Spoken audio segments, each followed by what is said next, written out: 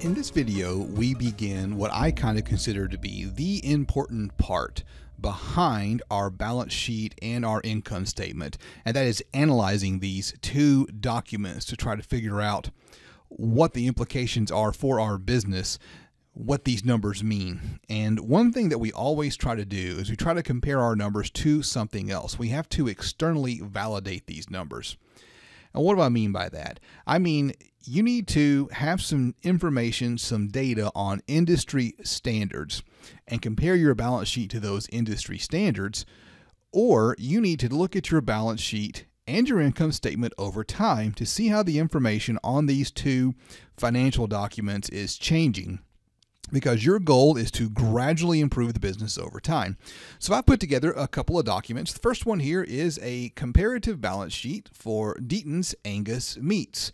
And I've named this business after uh, Angus Deaton, the uh, Nobel Prize winning economist and it's just a balance sheet. This one's a little bit different because it is a stacked balance sheet. It's not side by side. That's a term I made up just now. I don't think there's a thing called a stacked balance sheet. It's just a balance sheet, and we've stacked it where the assets are listed first, and then instead of listing the liabilities and equity off to the right, we've got the liabilities and equity listed below the assets. So just kind of be aware that it's perfectly acceptable to create your balance sheet so that it's stacked like that. It doesn't have to be a right left, it could be a top bottom. And the interesting and important thing here is that we've got two documents combined into one. We have the balance sheet for the end of the year 2030 and the end of the year 2031. So we can look at the cash and the other assets and the notes payable and the other liabilities and the equity side by side and compare the changes. And since we got them side by side, it's real simple just to calculate the difference. And what we see has happened is that our cash position has grown from $86,000 up to a quarter of a million dollars for a difference of $164,000. We just subtracted, there's the formula. It is the 2031 number minus the 2030 number and then we can calculate a difference as a percentage. So I'll double click on that to show you the formula. It's just the difference divided by the starting number in 2030, the December 31st, 2030 number.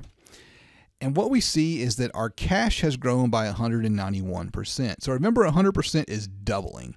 So we have had a massive increase in our cash position. And when you see a big change like that, you should probably be asking why, exactly what has happened to change this cash position. We might see a part of that in the next line. In the next line, we originally had three quarters of a million dollars in accounts receivable, and uh, now we have 1.2 million. Well, that doesn't explain a darn thing because that means we have less cash, right? Maybe the next line tells us something. It's our inventories. Our inventories were 5.6 million, now they're 2.8 million. I'm obviously rounding the numbers. And we see a major decrease in our inventory. It amounts to a 50% drop in inventory, which is around $2.8 million, almost $3 million drop in this asset. And the thing about inventory, it's a current asset. The purpose of inventory is to turn it into something else. Specifically, you want it to become cash. So, what I think's gone on here is that we had too much inventory sitting around at the end of 2030, and we flipped that inventory. We turned it and we converted that inventory into a different asset, accounts receivable, and a different asset, cash. So, we see this massive drop in inventories. And that massive drop in inventories led to a big decrease in our current assets. We see a similar thing going on here when we total up all of our assets. Our total assets has dropped by 10%. And you might look at that and say, well, that's a bad thing. We had a $3.7 million drop in our assets. Well, who's to say that's a bad thing? Because we used those assets to maybe pay down some debt, right? And we turned this massive inventory into a much smaller inventory. I still think holding $2.8 million in inventory, what is that? That's that's huge, right? That's a pretty big inventory. Um, that's a that's a that's a big percentage of our sales. That's over 10% of our sales is being held in inventory. And, and so we've lowered that inventory number and we've increased our cash position and our total assets are down 10%. And the thing to remember is that number down 10%, negative 10, may be a bad thing, right? It could be a horrible thing, but you've got to compare it to the rest of the numbers. Let's scroll on down and check out our liabilities. Our total liabilities uh, that's down 18%. So our assets decreased, but our liabilities decreased more than our assets. So that's got to be a good thing, right? Um, hopefully, um, that's an indication that we're better off than we were. Um, the equity uh, dropped by 1%. There's lots of things that influence that equity. It's, it's down by 1%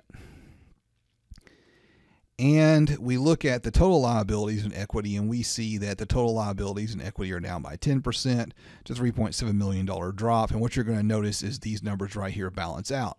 We're down 10% in assets, we've got to be down for 10% in equity and liabilities.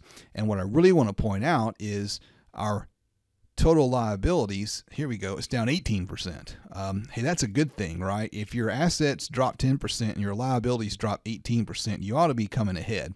Uh, now, why the equity is down 1% beats the heck out of me. It just happens to be that way. But we have this great document where we can compare the two years and kind of see what kind of progress we're making inside this inside this business. And hey, we're, we're paying down debt, we're turning over inventory. That sounds pretty reasonable to me. We do the same thing with our income statement. We've got, and it's set up a little bit differently. There's many different ways you can set these up. We have the year ending December 31st, 2030, the end of the first year. We have the year ending December 31st, 2031, the end of the second year. Now, the other thing that we do is we take all of our numbers on our income statement and we break it down to a percent of sales. That's a very common thing to do. And that's really handy when you're looking at things like gross margin and profit as a percent of sales, expenses as a percent of sales, that kind of thing. Pretty normal thing to do to look at things in terms of percentage of sales. So obviously, our revenue is 100% of our sales. We have our cost of goods sold, and the section where we calculate that and we learn that our cost of goods sold is 47% of sales. And the next year it's 51% of sales. We have a gross margin. Here the gross margin is 52% of sales. That means for every dollar in revenue in 2030, we had 52 cents left over after we paid for our goods we were selling that we can now use to cover our expenses and turn into profit. And in 2031, we see that number is lower. We've only got 48 cents left over. Well, 48 cents per dollar is not as good as 52 cents per dollar. We have less money as a percentage of sales to cover all of our other items we have to cover. So we've got a big old long list of operating expenses. Uh, and we told the operating expenses, and we find that our operating expenses is 48% of our sales in the first year and 45% of our sales in the second year and our income before taxes is 3.72% of sales versus 3.42% of sales. So we did a little bit worse job of turning our income or excuse me, our revenue into profits. That's what this means profit was 3.72% of our gross revenue, our total revenue, and then it's 3.42%. Now, the thing to notice is profits actually went up. We had uh, just shy of a million, and then we turned that uh, into 1.1 million the next year. So profits went up, but profits as a percentage of sales went down.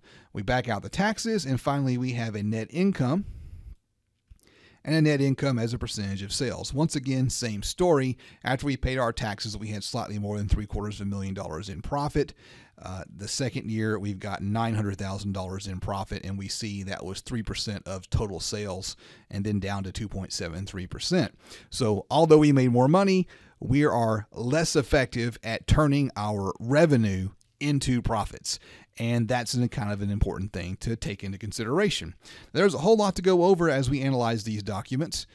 And I'm going to break this into several videos. So I'm going to go ahead and stop this particular video right here and make sure that you hit subscribe so that when I pop the next one up, you're not going to miss it. Thank you so much for listening.